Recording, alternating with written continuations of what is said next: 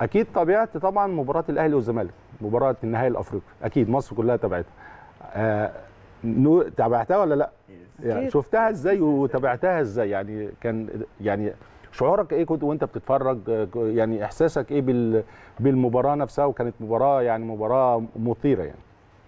I think uh, it was قبل كل شيء كنت آه، شديد الفخر من إن بمصر. كنت فخور بإن مصر لديها فريقين من تنافس على على هذا اللقب. يعني الفريقين الأوائل كانوا من ذات الدولة من ذات المدينة في النهائي.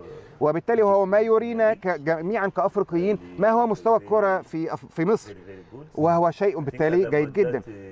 وبعد هذه المباراة طبعا الناس ابتدت تعرف أكتر اسم الأهلي والزمالك وابتدوا يشوفوا مبارياتهم.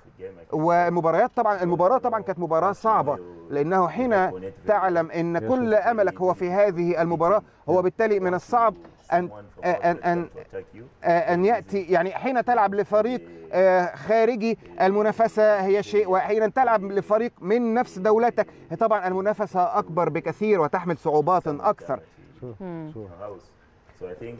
وما يعني ما كنت أفكر يعني ما حضر إلى ذهني في هذا الأمر هو أن الزمالك والأهلي كلاهما قدم أفضل ما لديهم. الزمالك في النصف الأول من المباراة آه، كان يحاول ولكن الأهلي آه، آه، قدم كان مستواه مستمر ومستقر على مدار الشوطين وبالتالي أحرز النتيجة التي كان يتمناها الفريق ومحبيه